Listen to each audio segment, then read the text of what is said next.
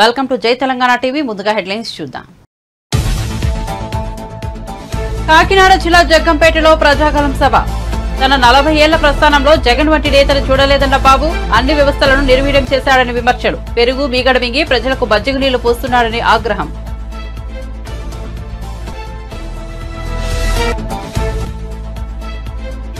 ఆదిలాబాద్లో కాంగ్రెస్ జనజాతర సభ. త్వరలో రైతులకు రెండు లక్షల రుణమాఫీ చేయబోతున్నామన్న రేవంత్ రెడ్డి. ఐదు గ్యారంటీలను అమలు చేశాం. మిగతా హామీలను కూడా అమలు చేస్తామన్న సీఎం.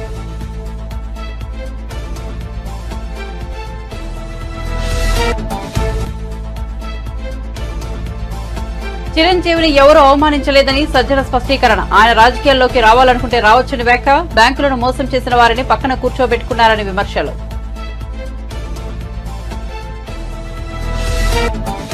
ఆగస్టు పదిహేనులోగా రుణమాఫీ చేయకుంటే రాజీనామా చేస్తావా అని సీఎం రేవంత్ రెడ్డికి హరీష్ రావు సవాల్.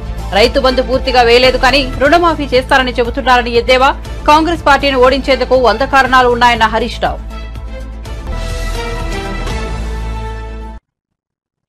ఇక వార్త వివరాల్లోకి వెళ్తే తన నలభై ఏళ్ళ రాజకీయ జీవితంలో జగన్ వంటి నేతను ఎక్కడా చూడలేదని టీడీపీ అధినేత చంద్రబాబు అన్నారు. తన జోలికి రావాలంటే అందరూ భయపడతారని కానీ ఇతడు సైకో కాబట్టి భయమేమీ లేకుండా ఏమైనా చేస్తాడని వ్యాఖ్యానించారు. జగన్ పాలనలో తాను కూడా బాధితుడేనని చంద్రబాబు పేర్కొన్నారు. చంద్రబాబు కాకినాడ జిల్లా జగ్గంపేటలో ప్రజాగలం సభకు హాజరయ్యారు. ఈ సందర్భంగా ఆయన ప్రసంగిస్తూ జగన్ చేసేదంతా విధ్వంసమేనని విమర్శించారు. ప్రజావేదిక కూల్చివేతతో మొదలుపెట్టి రాష్ట్రంలో ఏ వ్యవస్థను వదిలిపెట్టకుండా నిర్వీర్యం చేశారని మండిపడ్డారు. ఇంకో పక్క ఈ మూడు విధానాలే జీవితాశయంగా పెట్టుకొని పనిచేస్తున్నాడు. అతను చూస్తే అహంకారం నెత్తికెక్కింది. ఆయనే శాశ్వతం అనుకుంటున్నాడు. దేవుని కంటే గొప్పోడు అనుకుంటున్నాడు. మనమందరం కూడా ఎందుకు పనికిరానాలు అనుకునే పరిస్థితికి వచ్చాడు. మనలందరినీ బానిసలు అనుకుంటున్నాడు. అసలే కోతి. కోతికి కళ్ళు దాగింది. ముళ్ళు కొట్టింది. ఆ పరిస్థితిలో ఈ జగన్ ఉన్నాడని మీకు అందరికి తెలియజేసి అవునా కాదా? అవునా కాదా? ఇంకొక పక్క సొంత పార్టీ ఎమ్మెల్యేలు ఐదేళ్ళు ఎవడిని కలవల మా తమ్ముడు చెప్పినట్టు అహంకారానికి తోడు సైకో కూడా. ఇంకేమైనా ఇబ్బంది ఉంది తమ్ముళ్ళు? ఏం చేస్తాడో తెలియదు ఆ రాయితో మనల్ని కొడతాడు వాళ్ళ చెల్లెళ్ళు కొడతాడు వాళ్ళ తల్లిని కొడతాడు కడాను ఫైనల్గా అతనే కొట్టుకునే పరిస్థితికి వస్తాడు. అది పిచ్చితనం. ఇంకో పక్క నేను అడుగుతున్నా మిమ్మల్ని. ఈరోజు మనందరం కూడా ఐదేళ్ళుగా మీరు ఒకసారి చూస్తే కొంతమంది వ్యక్తుల్లో సమాజంలో చాలా గౌరవం ఉంటుంది. ఈరోజు చిరంజీవి గారు ఉన్నారు సినిమా యాక్టర్. పవన్ కళ్యాణ్ గారి సోదరుడు. ఒకప్పుడు ప్రజారాజ్యం పార్టీ పెట్టిన వ్యక్తి. సమాజంలో ఆయన గౌరవం ఉందా లేదా అని మిమ్మల్ని అడుగుతున్నా. ఆయన అయితే గవర్నమెంట్ ఆఫ్ ఇండియా పిలిచి ఆయనకు పద్మవిభూషణ్ అవార్డు ఇచ్చారు. దేశంలోనే గౌరవించిన వ్యక్తి చిరంజీవి గారు అని చెప్పి నేను మీకు తెలియజేస్తున్నా. ఇంకో పక్క రాజమౌళి ఉన్నాడు. రాజమౌళి అయితే బాహుబలి సినిమా తీసి ప్రపంచానికే చాటిన వ్యక్తి. పక్కనే ప్రభాసు బాహుబలి ప్రదా ప్ర- ప్రభాస్ కూడా. వీళ్ళందరినీ సినిమా వాళ్ళందరినీ పిలిపించి ఒకప్పుడు నేను ఎంత గౌరవించానో చూసారా తమ్ముళ్ళు అని అడుగుతున్నా. ఇంటికి పిలిపించి అగౌరవంగా ప్రవర్తించి వాళ్ళు అవమానించిన నీచుడు ఈ జగన్మోహన్ రెడ్డి అవునా కాదా అని మిమ్మల్ని అడుగుతున్నా. ఈరోజు మీరు ఒకసారి చూడండి. నిన్న మొన్న ఆయన పొగిడితే మనం అందరం సరెండర్ అయిపోతే మనం గొప్ప నాయకులం.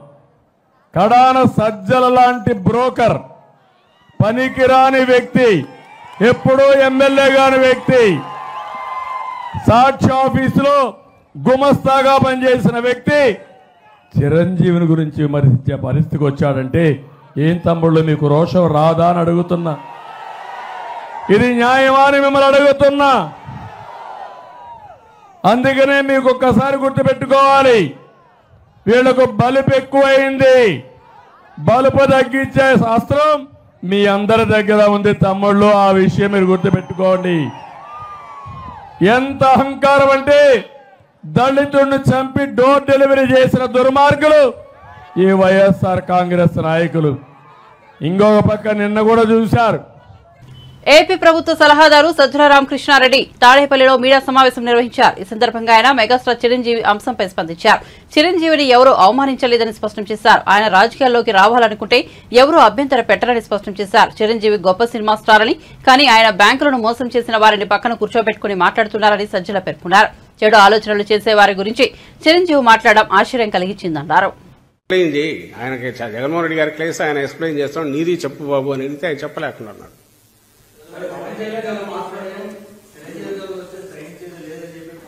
ఏది ఏదండి?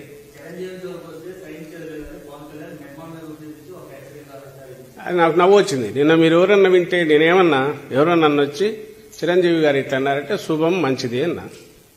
నేనేమన్నా శుభం మంచిది. ఇప్పుడు ఉన్న వాళ్ళకి తోడు ఇంకొకరు ఆయన కానీ ఇంకొకరు కానీ జాయిన్ అయినా నష్టం లేదు. మాకు కావాల్సిన ఓ పిక్చర్ క్లారిటీ మరింత వస్తుంది. కన్ఫ్యూజన్ ఉండదు. మా వరకు మేము కాన్ఫిడెంట్గా ఒకరం ఉన్నాము. అటువైపు ఇట్లాంటి రకరకాల ఆలోచనలు ఉండే వాళ్ళను ఫిగరేటివ్గా నేను పోల్చిన.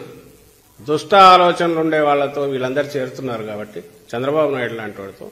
ఎందుకు ఆయన దుష్ట ఆలోచనలు ఆయనకున్న కుట్ర బుద్ధి లేదా ఆయన గత చరిత్ర వీటి గురించి నేను పోతే అది గంటల గంటలు పోతుంది దానికి పోవట్లేదు అది అందరికీ తెలుసు. నేను ఇంతకుముందు అన్నదంతా కూడా ఉంది. ఆయనకు అధికారం లేక రావడం తప్ప అది పవన్ కళ్యాణ్ బాధ్యత చిరంజీవి బాధ్యత మోడీ బాధ్యత పురంధేశ్వరి బాధ్యత అని ఆయన అనుకుంటుంటాడు. ఇవి ఇట్లా అనుకున్నట్టే అన్నాడు ఆయన కూడా దాంట్లో చేరినాడు మంచిది. వేరే మేము ప్రజలు మాతో ఉంటేనే మేము అధికారంలోకి రాగలం కాబట్టి ప్రజలతో ఎట్లా ఉంచుకోవాలని మేము ఆలోచిస్తున్నాం జగన్మోహన్ రెడ్డి గారు. అలాంటి దుర్మార్గపు ఆలోచనలో ఉండే వాళ్ళందరినీ పంచతంత్రంలో క్యారెక్టర్స్లో ఇవన్నీ ఉంటాయి. రకరకాల గుంటనక్కలు తోడేళ్ళు ఇవన్నీ.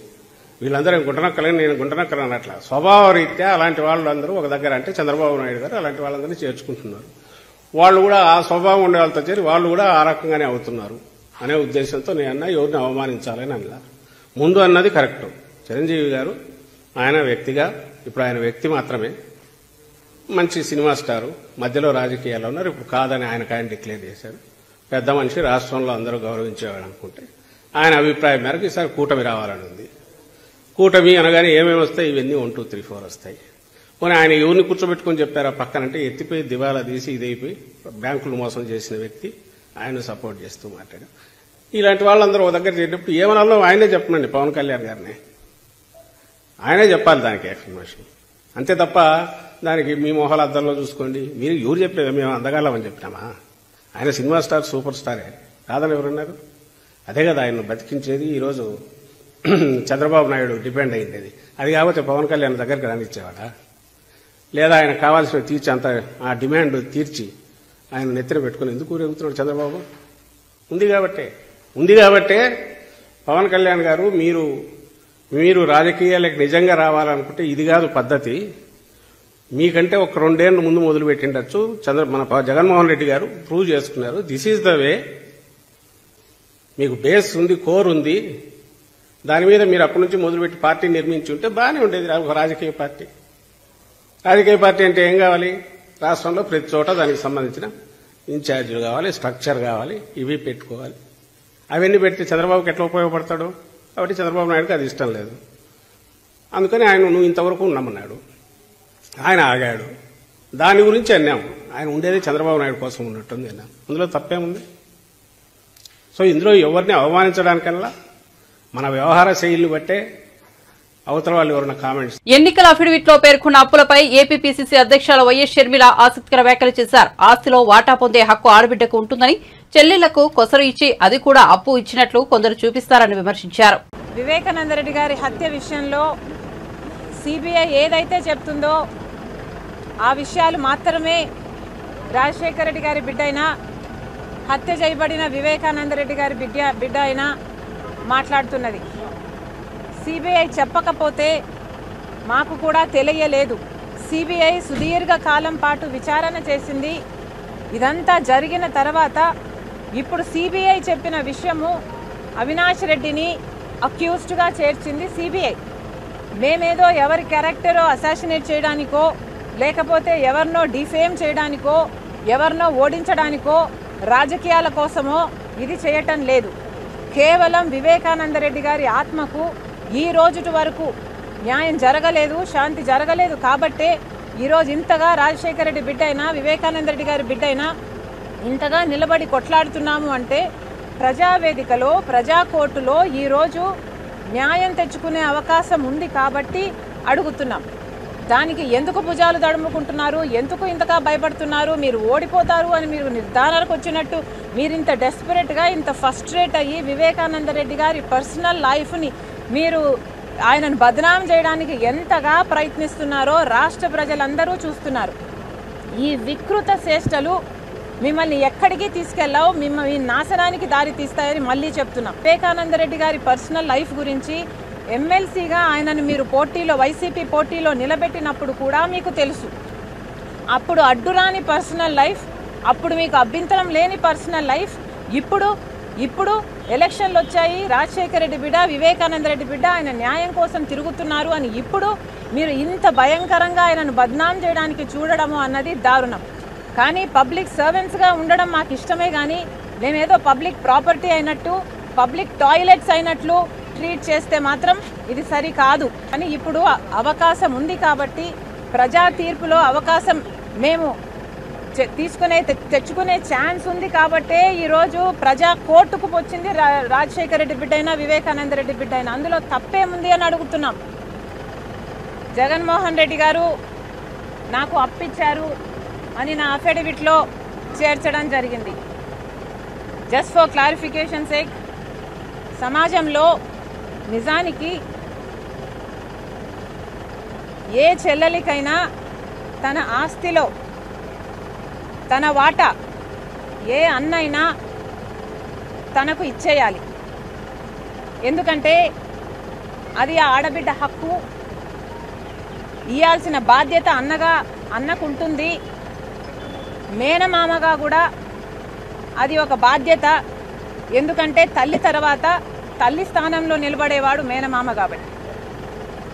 ఇది సహజంగా అందరూ పాటించే నియమం అయితే కొంతమంది చెల్లెలకి ఇవ్వాల్సిన ఆస్తి వాటాను ఏదో తమ వాటాగా భావించి తామేదో చెల్లెలకి గిఫ్ట్గా ఇస్తున్నాము అనంత బిల్డప్ ఇచ్చి ఇచ్చేవాళ్ళు కూడా ఈరోజు సమాజంలో లేకపోలేదు.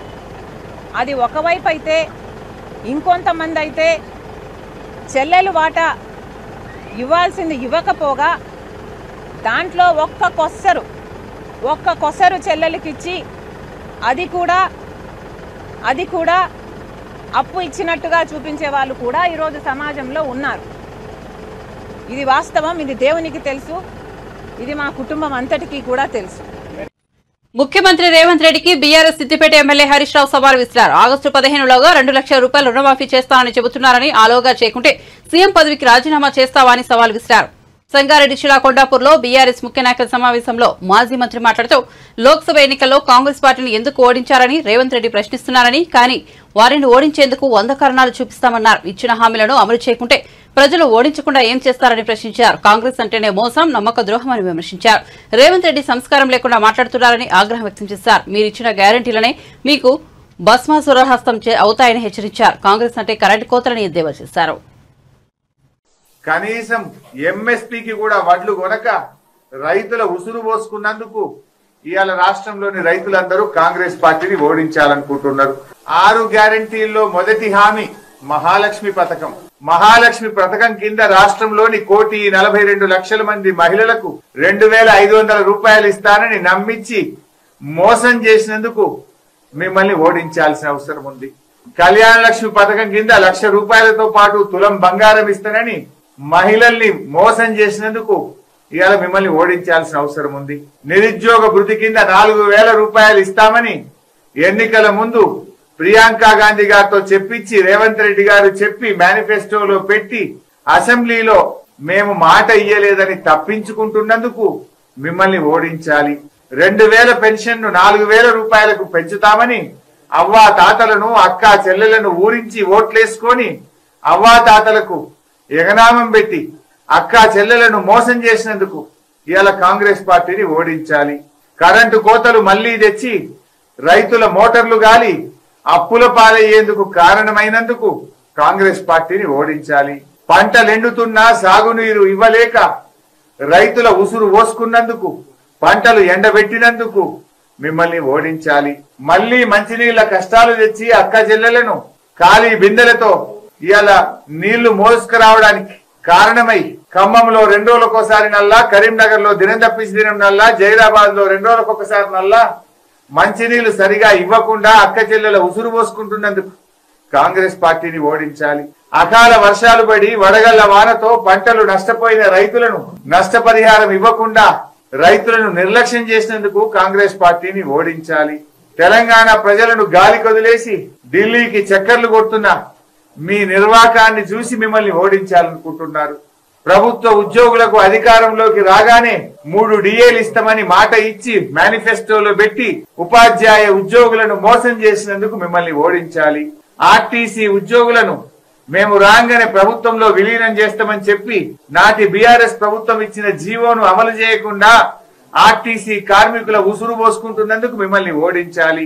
జిల్లాల సంఖ్య తగ్గిస్తామని చెప్పి కమిషన్ను ఏర్పాటు చేస్తా అని మా ఉన్న జిల్లాలను ఊడగొడుతా అని చెప్పినందుకు మిమ్మల్ని ఓడించాలి.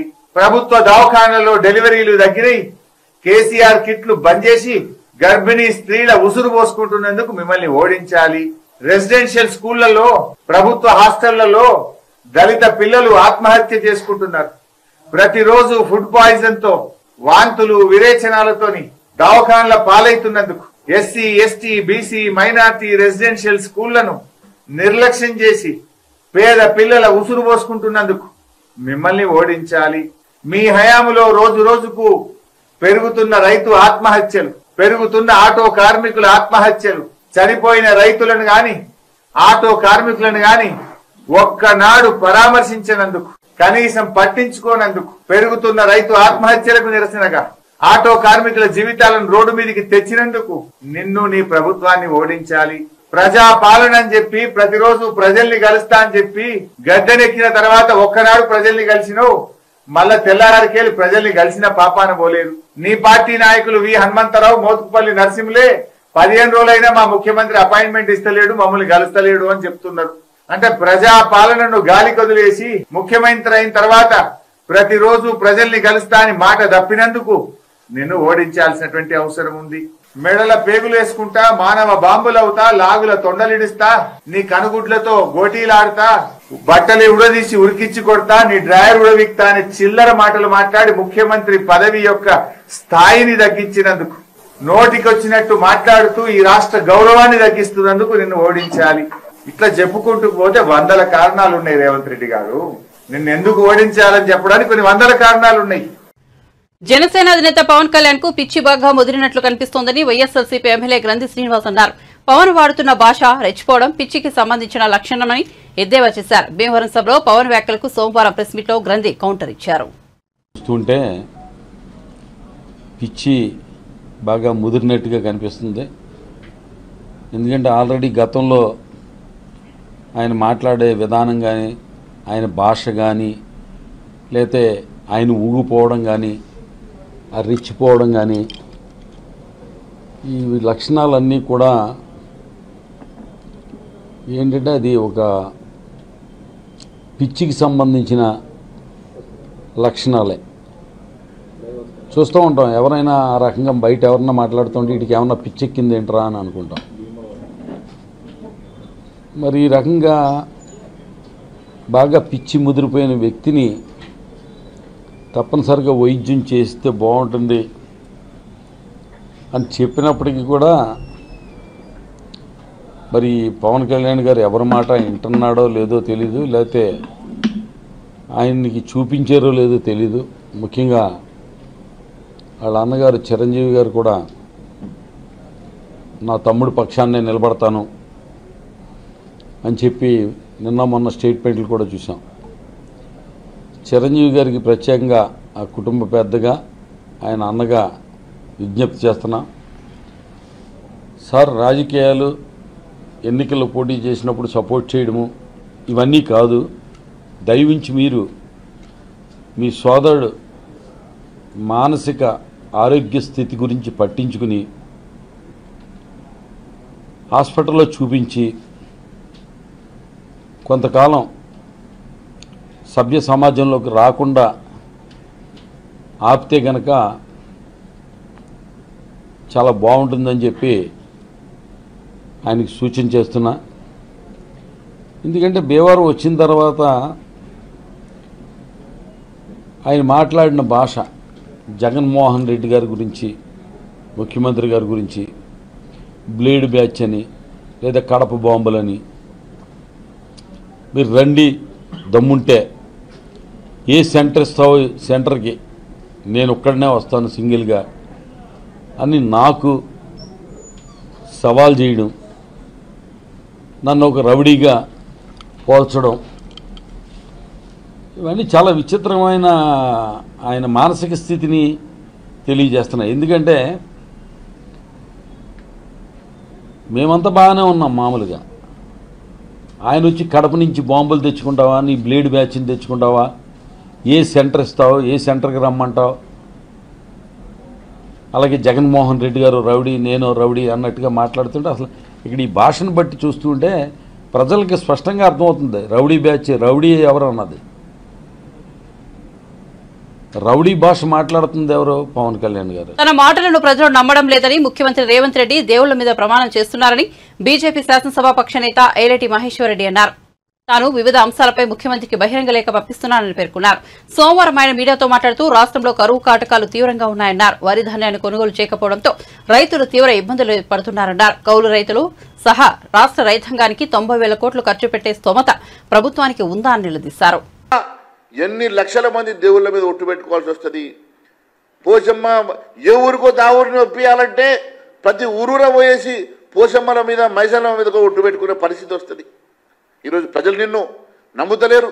కాబట్టే నువ్వు ఈ రకంగా ఒట్ల బాగోద్దని పెట్టుకున్నావు కదా. మరి కేవలం రుణమాఫీ మీద ఒట్టు పెట్టుకుంటే మిగిలిన హామీలు గట్టు మీద పెట్టినవా? మిగిలిన హామీల సంగతి ఏమని చెప్పి నేను ప్రశ్నిస్తూ ఉన్నాను. ఈరోజు ఒక్కసారి మీరు ఆలోచన చేస్తే ముఖ్యమంత్రి గారికి నేను ఈరోజు ఒక బహిరంగ లేఖను కూడా మీ ద్వారా నేను పంపించడం జరుగుతున్నది. బహిరంగ లేఖలో చాలా స్పష్టంగా నేను అడుగుతా ఉన్నాను కేవలం రైతులకు సంబంధించినటువంటి రైతులకు సంబంధించినటువంటి మీరు ఇచ్చినటువంటి హామీలు కౌలు రైతులకు కాకుండా ఎనభై వేల కోట్లు. కౌలు రైతుల్ని కలుపుకుంటే తొంభై వేల కోట్లు. ఈరోజు మీరు ఇప్పిస్తామన్నటువంటి మూడు లక్షల వడ్డీ లేని రుణాల సంగతి కూడా తీసుకుంటే లక్ష కోట్ల రూపాయలు కావాలా? మరి లక్ష కోట్ల రూపాయలు కేవలం ఒక వ్యవసాయ రంగానికి నువ్వు ఖర్చు పెట్టేటువంటి స్తోమత ఈ రాష్ట్ర ప్రభుత్వానికి ఉన్నదా? ముందు నువ్వు వైట్ పేపర్ని రిలీజ్ చేయాలి. నువ్వు గతంలో రిలీజ్ చేసిన వైట్ పేపర్ ప్రకారం ఈ రాష్ట్రంలో కనీసం ఇచ్చిన హామీలు కదా ఉన్నటువంటి సంక్షేమ కార్యక్రమాలు ముందుకు తీసుకెళ్ళడానికే మీ దగ్గర నిధులు లేనప్పుడు ఈ రకంగా మీరు కేవలం వ్యవసాయ రంగానికి సంబంధించిన లక్ష కోట్లు ఎక్కడి నుంచి మీరు నిరు ఎక్కడి నుంచి మీరు జమ చేస్తారు? అదే మాదిరిగా మీరు ఇష్టమైనటువంటి పెన్షన్లు నాలుగు వేల రూపాయలు వృద్ధపే పెన్షన్ల విషయంలో నిధులు ఎక్కడి నుంచి సమకూరుస్తారు? అది కాకుండా నిరుద్యోగులకు మీరు ఇచ్చినటువంటి మాట సంగతి ఏంది? విద్యార్థులకు మీరు ఇస్తామన్నటువంటి మాట సంగతి ఏంది? అమ్మాయిలకు స్కూటీలు ఇస్తామన్నటువంటి మాట సంగతి ఏంది? పెళ్ళిల్లో తులం బంగారము ప్లస్ లక్ష రూపాయలు ఇస్తామన్నటువంటి మాట సంగతి ఏంది? ఈరోజు ప్రజలు ఎదురు చూస్తూ ఉన్నారు.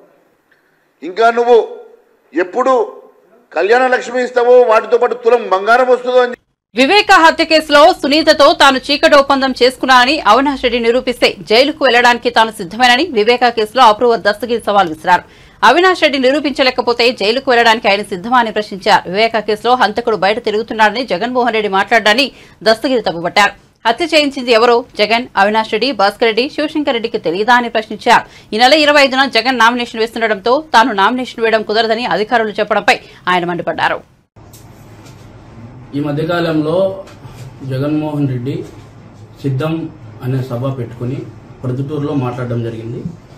ఆ మాట్లాడే విధానం నేను గమనించిన చూసినా కూడా. అయితే జగన్మోహన్ రెడ్డి నిస్సిగ్గుగా ఐదేళ్ళు ఐదేళ్ళు గమ్ము నుండి ఈరోజు ప్రజల ముందుకొచ్చి వివేకానంద రెడ్డి గారి కేసు హత్య గురించి కేసు గురించి మాట్లాడడం జరుగుతూ ఉంది. ఆ రోజు హంతకుడు బయట తిరుగుతూ ఉన్నాడు. ఆ రోజు హంతకుడు బహిరంగంగా చెప్తా ఉన్నాడని చెప్పి జగన్మోహన్ రెడ్డి నిస్సిగ్గుగా మాట్లాడడం జరిగింది. అయితే దాన్ని పూర్తిగా ఖండిస్తా ఉండా. జగన్మోహన్ రెడ్డికి ఆయన పక్కలోనే ఉన్న అవినాష్ రెడ్డి గారి హత్య కేసులో భాగస్థులైన జగన్మోహన్ రెడ్డి కావచ్చు అవినాష్ రెడ్డి కావచ్చు బాసిరెడ్డి కావచ్చు శివశంకర్ రెడ్డి కావచ్చు వీళ్ళందరూ కూడా భాగస్థులే. ఆ విషయం జగన్మోహన్ రెడ్డికి కూడా తెలుసు.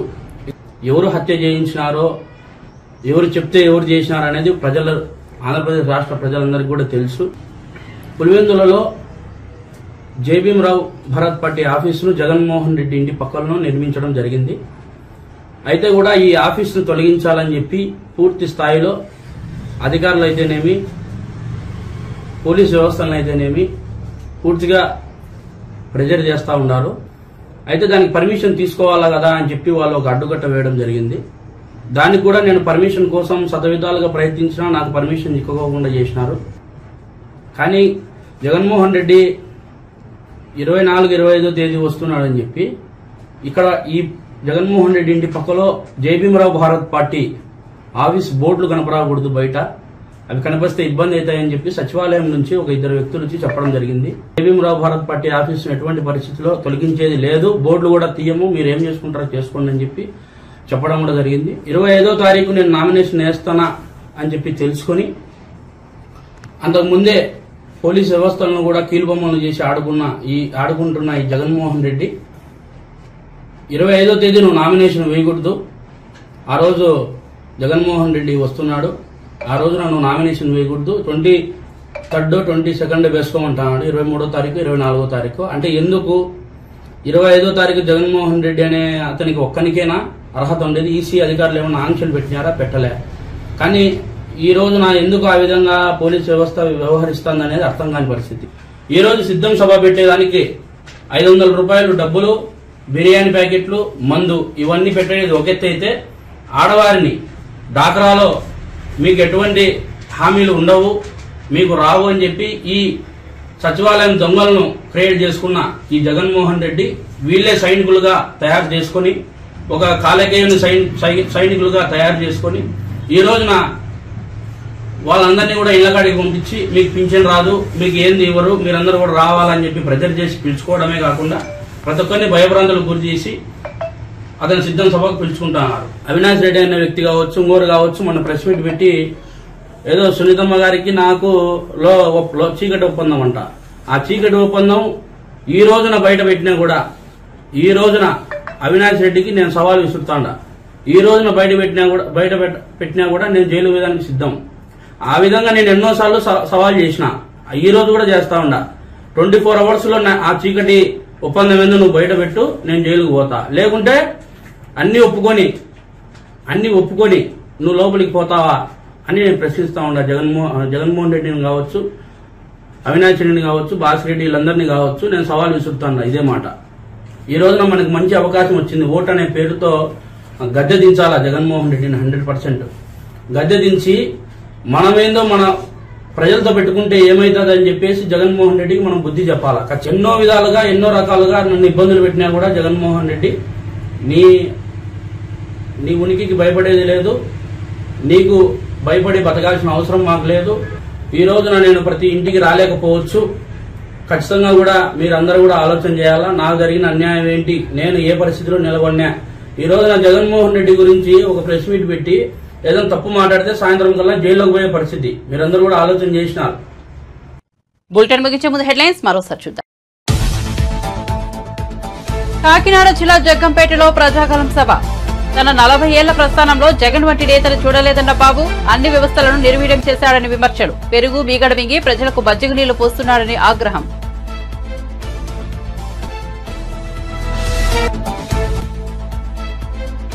ఆదిలాబాద్లో కాంగ్రెస్ జనజాతర సభ. త్వరలో రైతులకు రెండు లక్షల రుణమాఫీ చేయబోతున్నామన్న రేవంత్ రెడ్డి. ఐదు గ్యారంటీలను అమలు చేశాం. మిగతా హామీలను కూడా అమలు చేస్తామన్న సీఎం.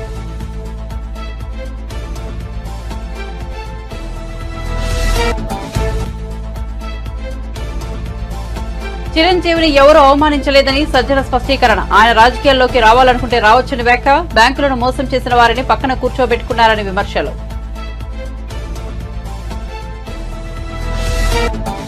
ఆగస్టు పదిహేనులోగా రుణమాఫీ చేయకుంటే రాజీనామా చేస్తావా అని సీఎం రేవంత్ రెడ్డికి హరీష్ రావు సవాల్.